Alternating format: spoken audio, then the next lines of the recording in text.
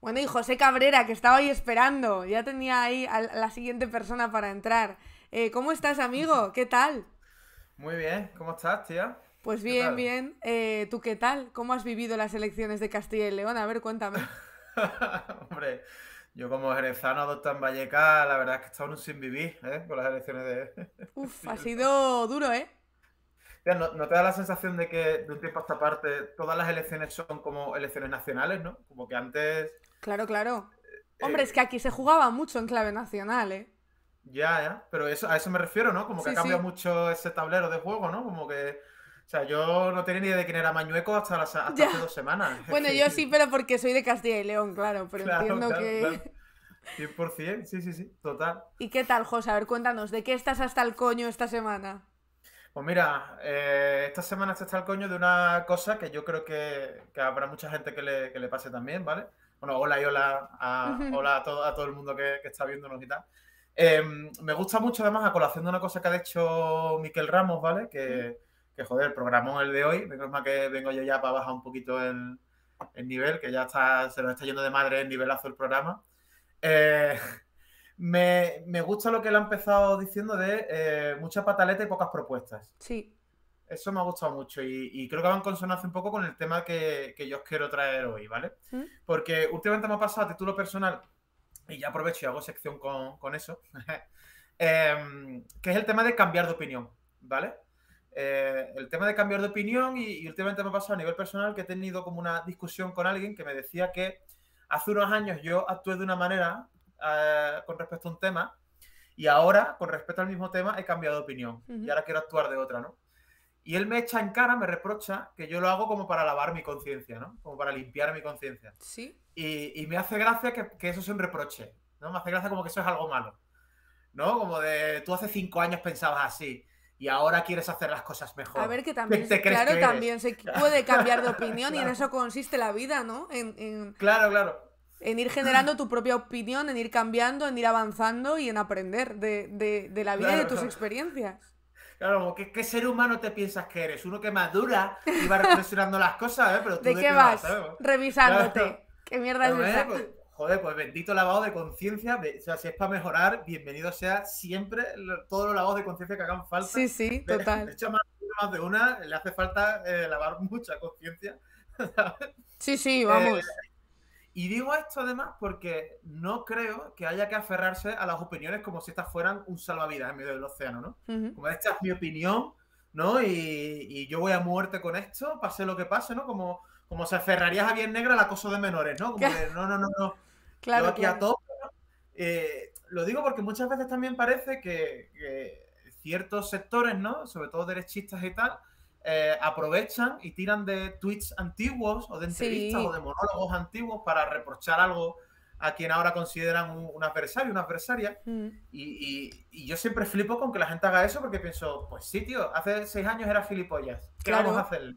El problema no eh, es ese, el problema es que cuando se hace al revés y señalamos nosotros, nosotras, tweets de derecha, esa gente, mm, la mayoría de las veces, no pide perdón porque sigue siendo igual, ¿sabes? Entonces, como que ellos no ven la diferencia muchas veces que dicen, claro, es que a no sé quién le tenemos que perdonar por los tweets y a este no. Hombre, perdóneme, pero es que el señor que se presenta por las elecciones de Castilla y León sigue diciendo que lo primero que va a hacer es quitar la ley de violencia de género y que el feminismo es una puta mierda. Entonces sigue pensando lo mismo que en sus tweets. No ha habido ningún cambio de opinión. O sea, claro. Además, ellos, ellos eh, por lo que sea, tienen la conciencia muy tranquila siempre, o eso, eso emana. ¿no? Por lo menos en público. Sí, eso parece, que a mí me da mucha envidia, ¿eh? Yo lo digo siempre. Sí, sí, sí, Yo, una autoestima, eh, desde mi punto de vista. No, de verdad, me da envidia de decir, oye, yo ya lo he aprendido toda la vida, eh, yo no toca aprender nada. Entiendo que es una posición muy cómoda, la de, oye, mira, yo no me voy a poner ahora a usar el masculino y el femenino, prefiero hacerme de box. Sí, sí, está claro que lo que, lo que algunos se ahorran en terapia se lo invierten en farlopa y aquí todo el mundo en paz y después no hay problema. Eh, otro argumento, además, eh, que muchas veces escucho, ¿no? Es como el de, si no eres un experto o no te dedicas a tal cosa, ¿para qué opinas, no? Sí. Y yo con este argumento tengo sentimientos encontrados, porque por una parte entiendo el razonamiento, ¿no? Por otra parte digo, vale, ok, eh, es verdad que hay ciertos temas sobre los que hay que saber antes de, abrir la bocaza, ¿no? Mm. Pero por otra parte también me di cuenta de la cantidad de veces que nos saltamos nosotros este argumento también. Sí. Y por ejemplo aquí, aquí quiero mm, empezar ya, eh, eh, aquí empiezan ya las capas de, ironía y de que no quiero que se malinterprete, además ya a la hora que es, yo espero ya que la gente esté tranquila escuchando el programa o viéndolo en batín. Em, la gran falacia de esto, ¿no? De, de si no eres un experto para qué opinas, es votar si lo piensas. Sí. O sea, a mí me parece muy lógico que alguien que no es economista eh, no opine de economía. Veo todo el sentido del mundo en ese argumento. Pero es que resulta que votar, de alguna manera, es pedirnos nuestra opinión sobre mm. economía, sobre derechos humanos, sobre derechos laborales. Entonces, bueno, de alguna manera como yo no soy un experto en estas cosas, pero tengo ese derecho y, lo ejerzo o no, en fin.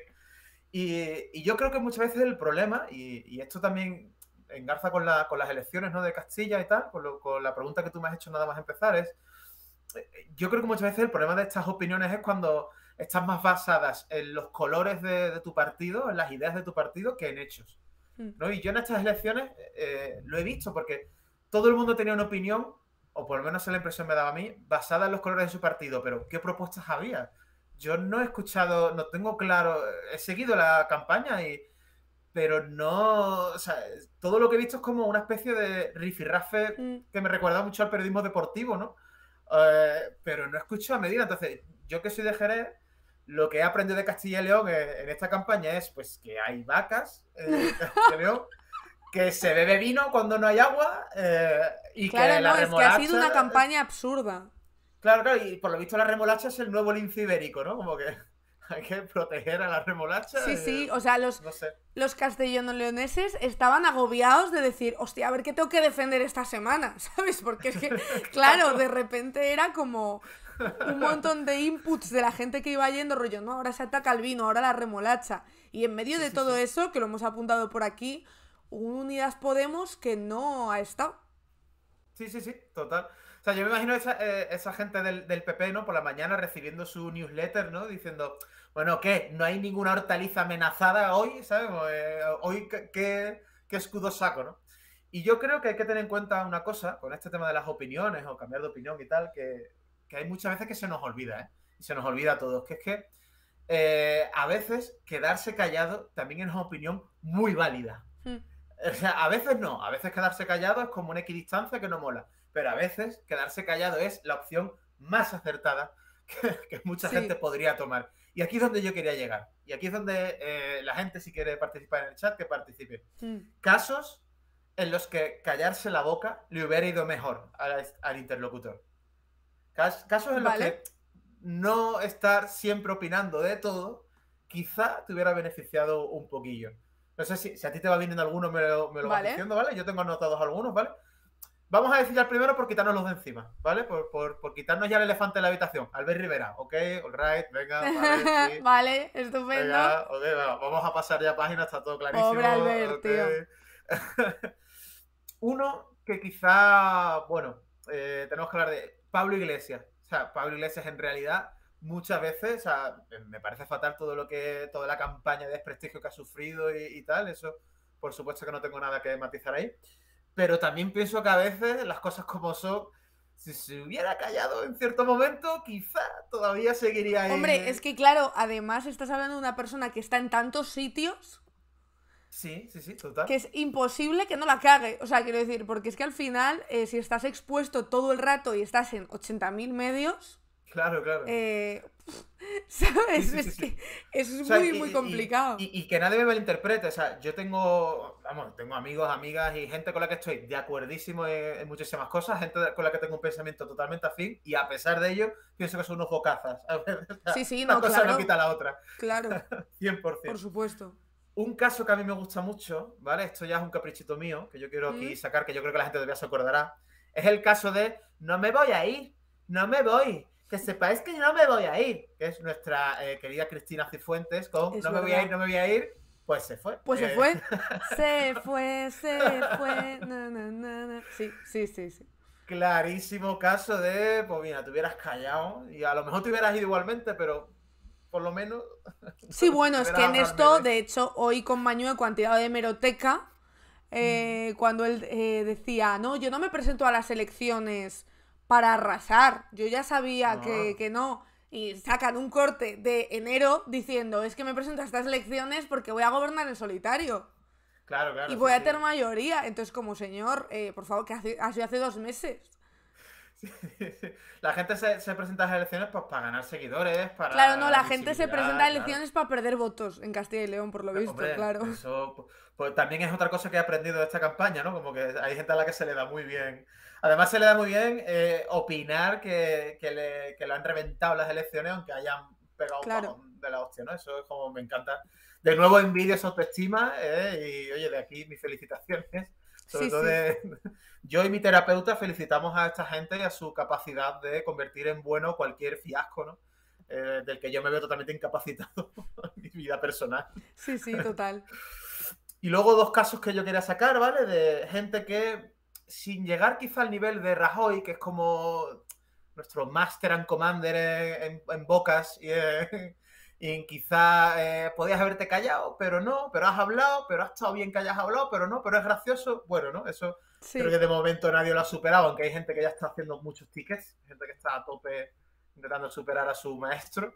Uno es evidentemente Tony Cantó. Tony Cantó yo creo que es un caso también flagrante de, oye, si te hubieras callado un poquito, solamente callarte un poquito, no hubieras tenido ni la mitad de memes casterillos, ¿sabes? No, no hubieras metido la zarpa ni la mitad de veces.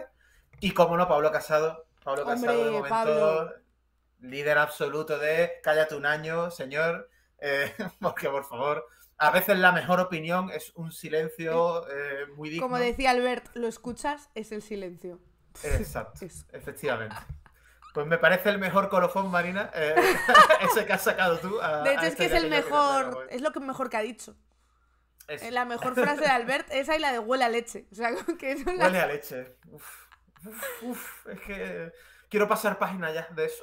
Eh, yo no. Yo es que me, yo me he atascado ahí, ya no quiero, yo no quiero pasar página. De hecho, no quiero soltar a Pablo Casado, que sé, sé que Yo cuando las elecciones de Castellón dije, bueno, el batacazo del PP no ha sido tanto, con lo cual Pablo aguanta todavía. Claro, claro, claro. a ti te pasa con Albert Rivera es como tu peli de los 80, ¿no? Como que todo el mundo tiene una peli de los 80 donde se siente cómodo y nostálgico, ¿no? Claro. Como de yo cuando me siento mal me pongo los Goonies o cuando me estoy rayado me pongo tú Albert Rivera, ¿no? Te pones vídeos Claro, yo me pongo vídeos de Albert Rivera antiguos. Tengo el libro de Albert Rivera por aquí, o sea, quiero decir. Claro, claro. Sí, sí, lo releo de vez en cuando y todo eso. Sí. Eh, Fantástico. Están diciendo por aquí, pues aquí me encanta la base, me entero muchísimas cosas. No, no, la base está de puta madre. Sí, sí, por supuesto. La base está genial. Ahora, que algunas la ha cagado, no en la base en general. No, no, pues evidentemente, si es que aquí somos todos unos bocazas. De hecho, si te fijas, yo no he dicho que tengan o no tengan la razón. Yo he dicho que a veces te puedes callar un poco, pero quien sea, o sea, pero todo, ¿eh? Todo el mundo se puede callar a veces un poco. O sea, yo el primero. Quiero decirte que ya está. Sí, sí, sí, total. Oye, pues muchas gracias, José, por venirte. Ah, gracias a ti y a, y a todo el mundo que está aquí viéndonos. Y nada, la semana que viene te vemos otra vez, a ver qué nos cuentas. Aquí estaré. Vale, chao, amigo. Adiós. Chao.